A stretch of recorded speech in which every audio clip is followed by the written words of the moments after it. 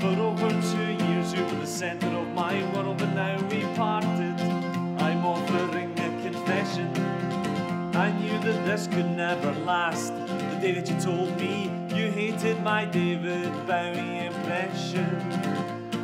I mean, seriously, how can you hate the Goblin King?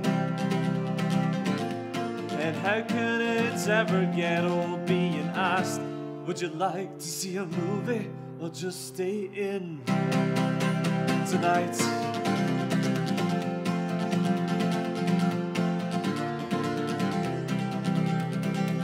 There was something between the two of us that was never going to work. I always thought your time travel theories were pretty absurd. How on earth would we have raised the kids? Would they be TARDIS or DeLorean? World doesn't really need another breakup song. There's no point agonizing over when it's all went wrong. Cause if it had to end, then it had to end. So let's put it behind us and just be friends. All that's really left to say is so long and thanks for all the sex.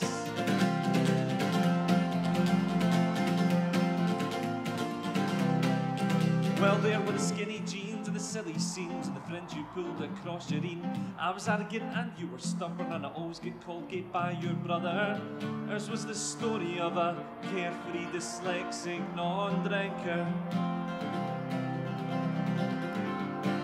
Coupled with a language-loving, pedantic, consistently drunk thinker.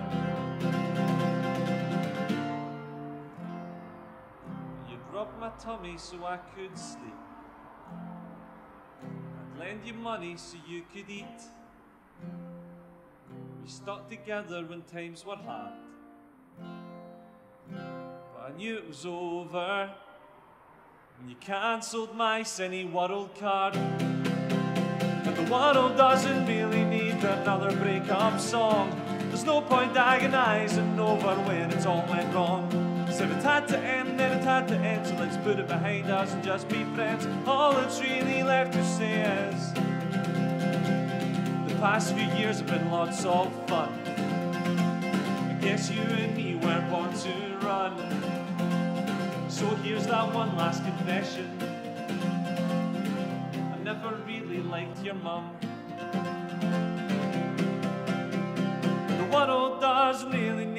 Another breakup song. There's no point agonizing over where it all went wrong.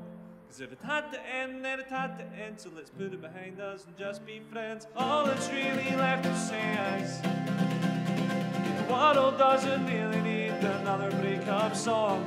But there's no point agonizing over when it all went wrong. Cause if it had to end, then it had to end. So let's put it behind us and just be friends. All that's really left to say is the past few years have been lots of fun.